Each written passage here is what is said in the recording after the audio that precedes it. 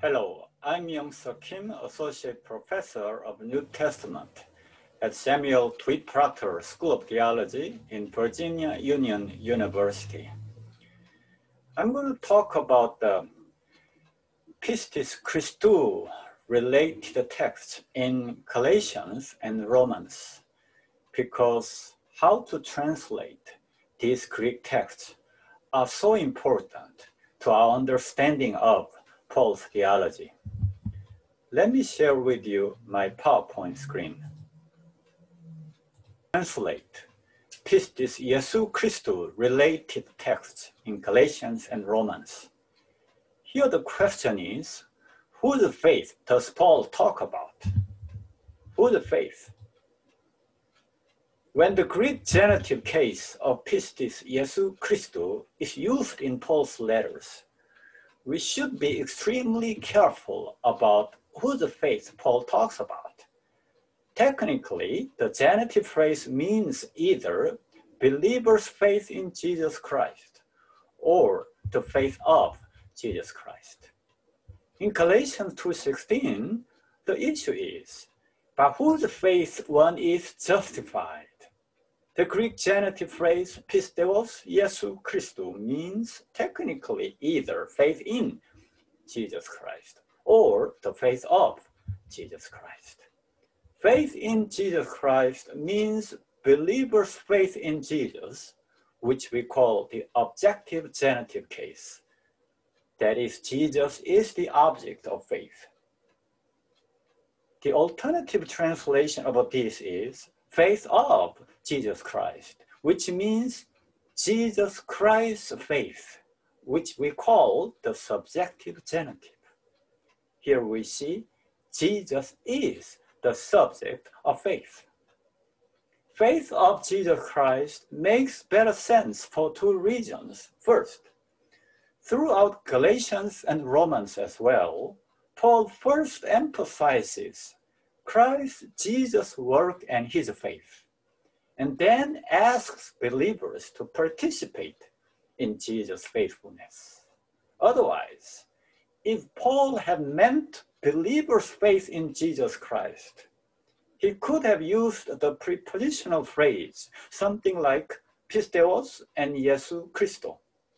Second, in Paul's theology, it makes better sense that justification happens through Jesus Christ's faithfulness, which involves believers' participation in Christ's faithfulness. Now in Galatians 2.20, Paul talks about his impression with Jesus' love and grace, saying that Christ Jesus is everything to him. So he says, it is no longer I who live, but it is Christ who lives in me.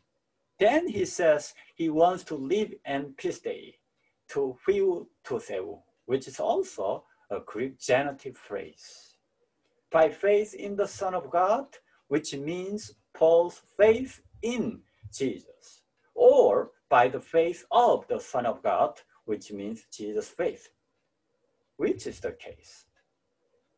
The latter translation, that is by the faith of the Son of God, makes better sense because Christ is everything to Paul.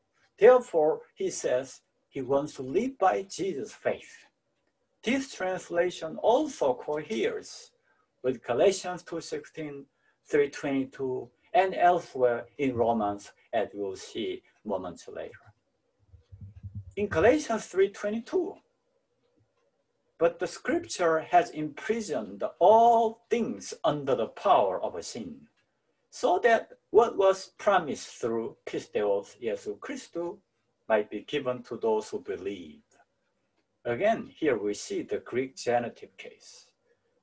Promised through who the faith? Faith in Jesus Christ, which is believers' faith in Jesus, or the faith of Jesus Christ, which is Jesus' faith which is the case. Grammatically and theologically, the subjective genitive meaning makes better sense. Because for Paul, the first thing is Jesus' faith, and then believers' participation follows, as we see in this verse 322. what was promised through Jesus' faith might be given to those who believe. Interestingly, Romans 3.22 also has a similar structure. God's righteousness coming through Jesus' faith, and it will be effective and available for all who have faith. Now we see here Romans 3.22, Pisteos Iesou Christou. The same question we ask, is this faith in Jesus Christ or the faith of Jesus Christ? The faith of Jesus Christ, the subjective meaning makes better sense as we saw before. God's righteousness coming through Jesus Christ's faithfulness for all who have faith or for all who believe. Now finally, in Romans 3.26, the question is, God's justification by whose faith? In Romans 3.26, we read God justifies the one who has pisteos Iesou. This is also a Greek genitive case. Is this faith in Jesus or the faith of Jesus? Which is the case? God justifies the one who has faith in Jesus, or God justifies the one who has the faith of Jesus. Here also the faith of Jesus makes better sense, as we saw before in Paul's consistent theology of Christ. In all my works, books and articles, even in speeches, in my reflections, I have argued that both Jesus' faithfulness and believers' participation in him are important in Paul's theology. I also have developed a threefold theology or gospel of Paul, which involves three aspects of a participation. God's righteousness. God is the one who is righteous. God is the one who is steadfast. God cares for and love humanity. God's justice and righteousness. So God's participatory love and justice, God's righteousness. But we also need Jesus' faithfulness, Jesus' love and grace and faithfulness. But that's not everything. And we need believers' participation in Jesus Christ. See my most recent book, How to Read Paul. I have here a book, How to Read Paul, a brief introduction to his theology, writings, and world by Fortress Press It's coming in April 13, 2021. There are also other books and articles of mine. And for more information, visit my blog, http drkimys.blogspot.com. Thanks for watching. I hope to see you or meet you again in another place. Thank you.